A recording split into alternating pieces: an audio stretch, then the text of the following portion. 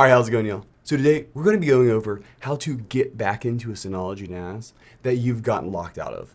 And there's a ton of different ways this can happen. So we're going to go over all the like little things to check and try first that are really easy to get back from.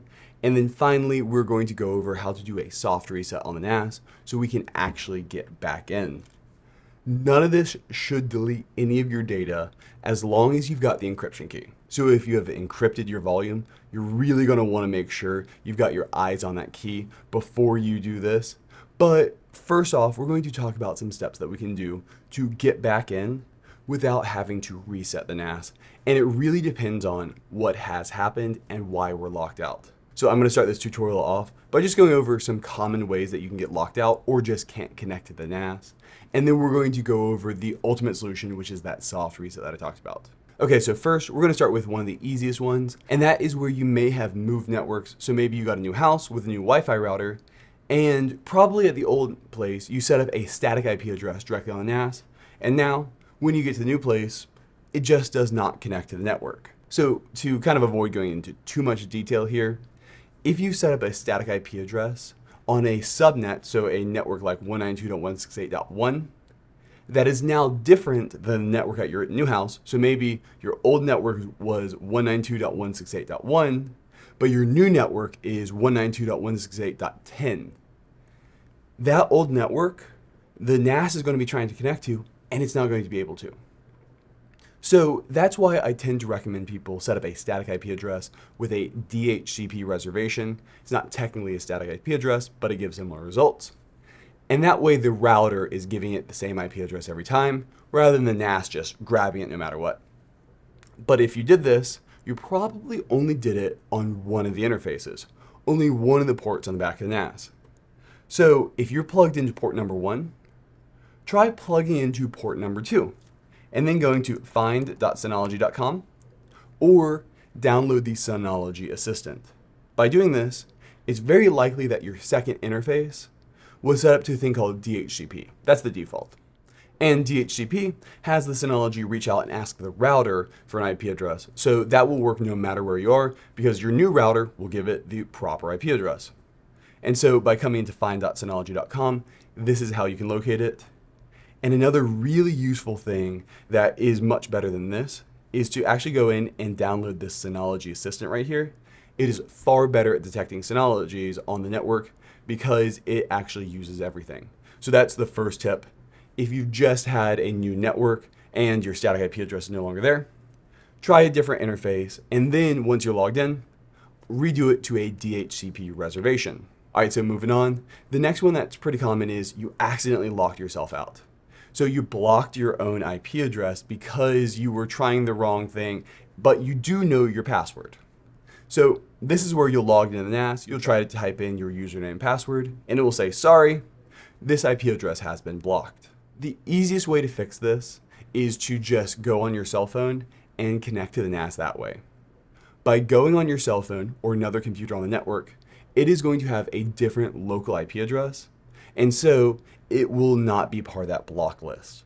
And so you can come in here, log in the NAS,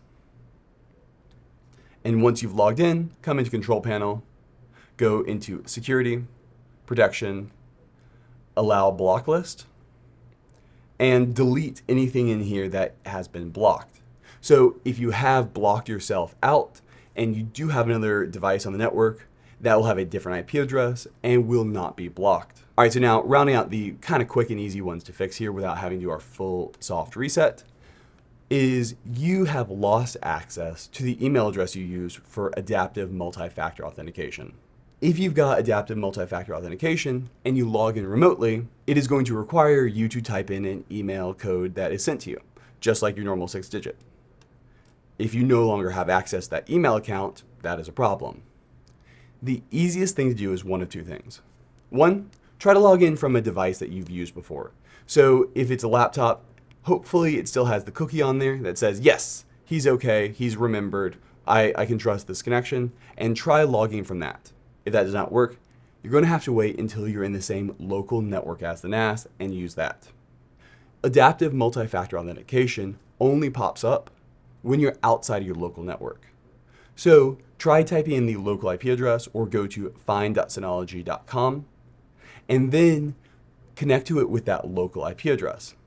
By using that local IP address, it will guarantee to be a local connection and it should not require you to have that email code. And so after that, you can go in and change the account and all that good stuff. Okay, so those were three quick and easy ways that you can get in without having to do a soft reset on the NAS. But sometimes stuff happens, and I know I've locked myself out of the NAS multiple times by doing a lot of things.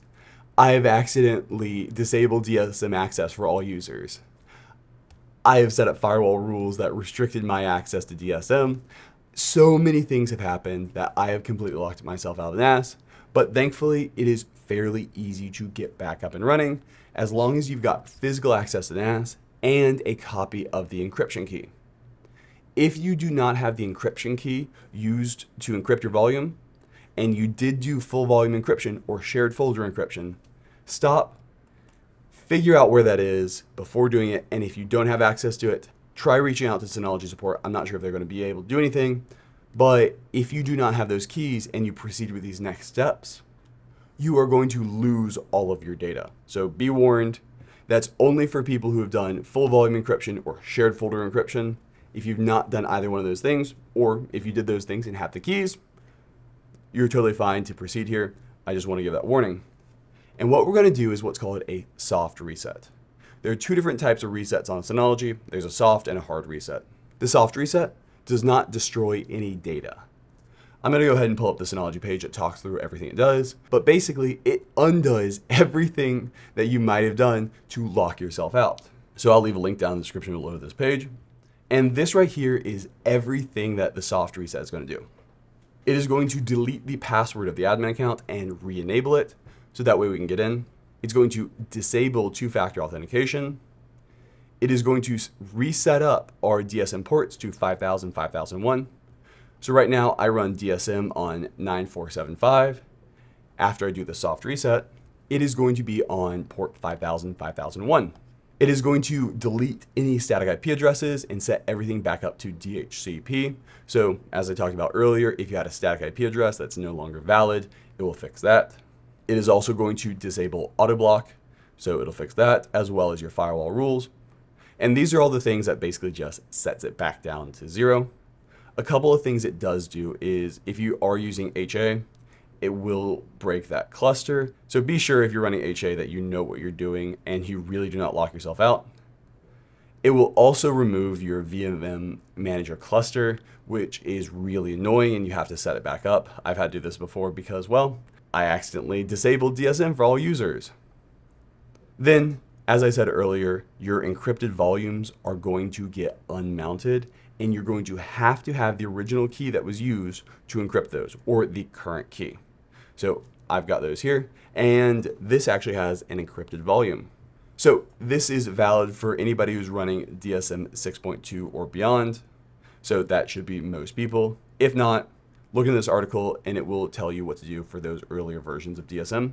All right, so now let's go ahead and do it. And this is going to get us back in no matter what happens. And then after this, we're going to go over all the steps to fix everything we have done.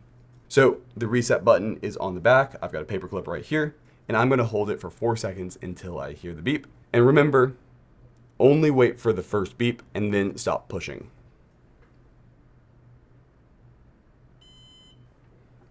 And there is our beep. Now, we're going to give it about a minute or so. If I want to do a full reset, you do not want to do this unless you want to format your NAS. Within 10 seconds, hold the reset button again for another 4 seconds, and you will hear three more beeps. So be careful if you think you heard the beep and you're trying to do mode 1 soft reset. Stand back for a minute and then check and see if it worked. If not, do it again. But if you do these back to back, it will do a hard reset, which is a full format of the volume.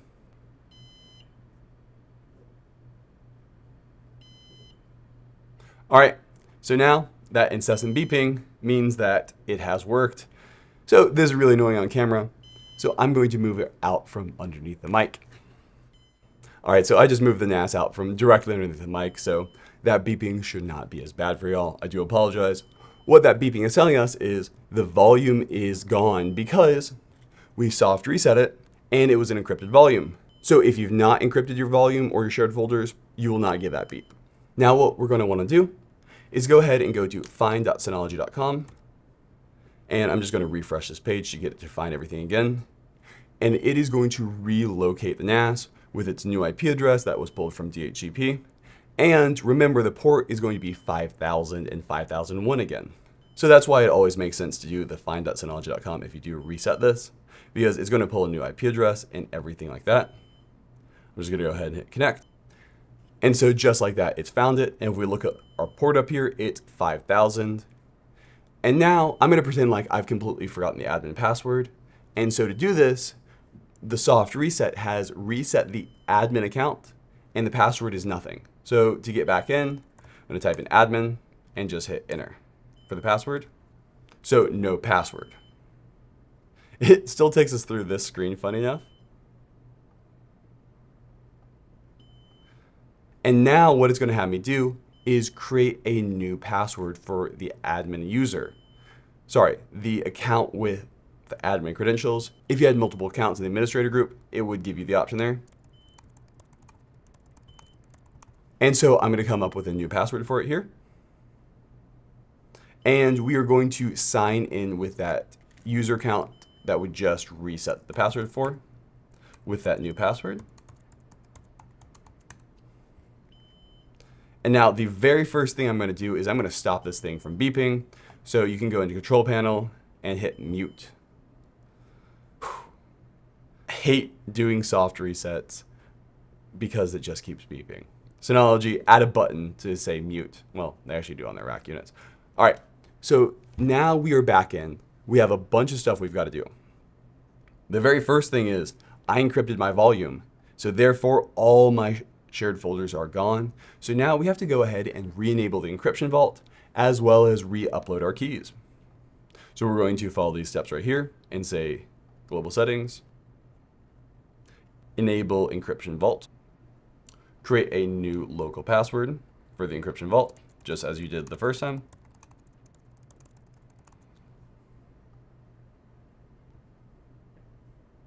Hit save.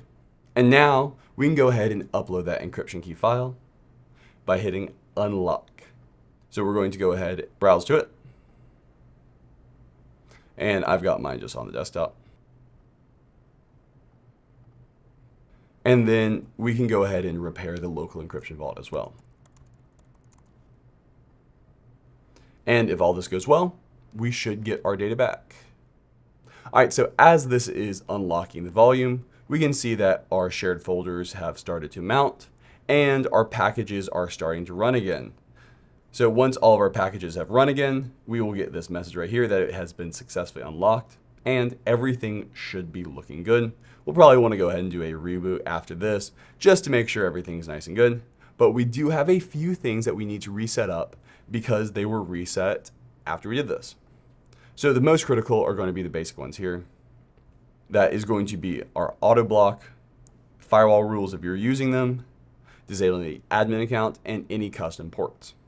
So what we're going to do is the first thing we're going to go ahead and do is make sure that this admin account is disabled. If you just sign in with your user account because you knew your password, it will not disable this account. So just make sure that the admin account is disabled.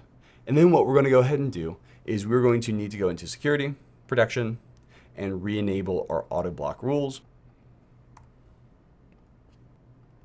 Go into firewall and reset it up if you've got any firewall rules there. Re-enable adaptive MFA and 2FA if you're using them, and account protection. Now, if you were using a static IP address on here, go ahead and enter that back in. And that should be pretty much it. Everything else will have just gone ahead and automatically worked. And the one thing I do like to do is just reboot the NAS at the end here, just in case there's any weird junk from the volume not booting up while it was there, and just make sure it boots up and works nice and cleanly. But we're back in. Everything is back up and running there. And once we reboot this thing, it should come back up exactly as it was before. The one thing I would really recommend doing is just double check that each of these things has been met and that you've accounted for it. So if you had any specific settings there, make sure to go ahead and re-enable them because it is going to reset your whole networking stack basically to defaults because it thinks that there's a chance you mess those up. All right, well, that's pretty much it for this. If you want to see any of the tutorials, subscribe. We're trying to hit 100,000 subscribers. And if you want to hire me, I do this professionally. There's a link for that down in the description below. And have a good one. Bye.